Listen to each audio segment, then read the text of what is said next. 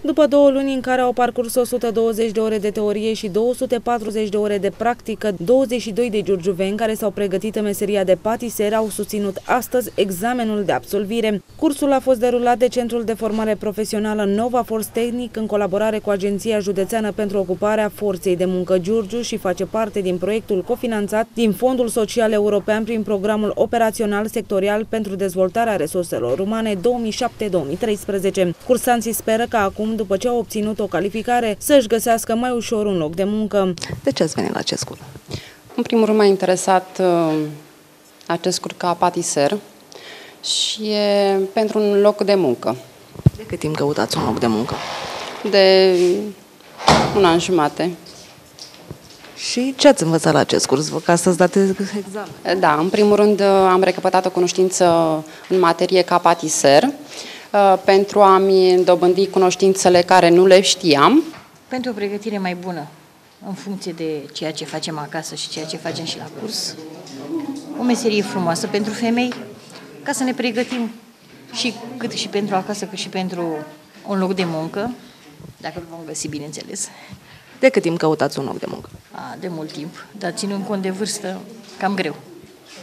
A câta calificare ar fi pentru dumneavoastră aceasta? E pentru a doua calificare. Prima când am terminat școala și asta e a doua. La cursurile de calificare în meseria de patiser s-au înscris și bărbați care spun că tehnicile de întins aluatul nu le sunt deloc străine. Mi-a plăcut pentru că eu am mai lucrat uh, în meseria asta și mi-a plăcut foarte mult. Înțeleg și știu și cuptoarele, știu tot, uh, toate utilele care este. Câți ani ați lucrat în această meserie? Uh, cu șase ani. Aveați calificare? Nu. Și de-aia am venit ca să... Adică am învățat mai multe acum, să mă pregătesc mai bine. De cât timp căutați un loc de muncă? De 8-9 ani. Am mai lucrat așa, dar în alte meserii. Credeți că acum cu această meserie veți găsi mai ușor cu acest curs? Da, cred. Odată ce am calificare la mână, pot să-mi găsesc un loc mai ușor de muncă. De ce ai ales să vii la acest curs? Pentru am găsit un loc de muncă dar de ce neapărat patiser și nu altceva? Pentru că ăsta era disponibil. Mai erau babysitter și nu cred că mi se potrivea mie babysitter. Spune-mi ce așteptări ai de la meseria asta?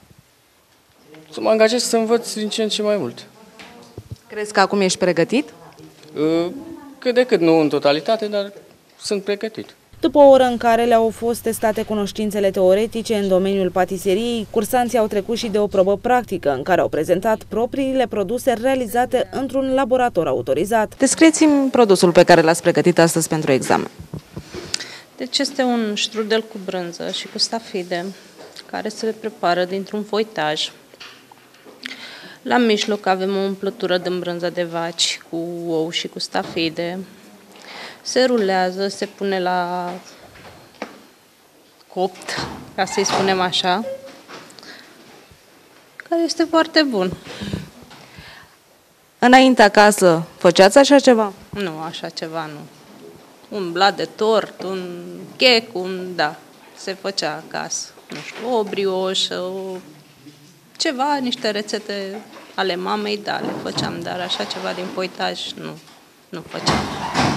De cât timp căutați un loc de muncă? 5-6 ani.